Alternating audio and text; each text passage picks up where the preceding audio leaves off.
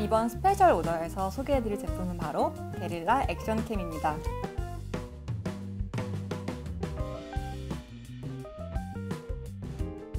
한 손에 쏙 들어가는 미니 사이즈에 무려 4K 60프레임의 고화질 동영상 촬영이 가능한 제품이에요. 요즘 브이로그 많이들 찍으시잖아요.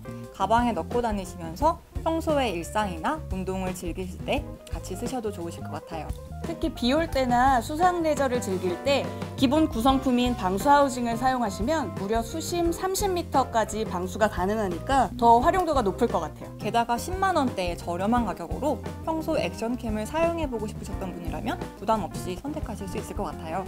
상단의 전원과 셔터 버튼, 측면의 상하 버튼과 터치 스크린으로 간단한 조작이 가능하고요. 일반 영상 촬영은 물론 슬로모션과 타임랩스, 또 사진 촬영에서는 연사와 타이머 등의 다양한 기능으로 써보실 수 있습니다. 그뿐만 아니라 와이파이 연결도 가능하기 때문에 실시간 촬영 영상을 스마트폰으로 확인할 수도 있고요.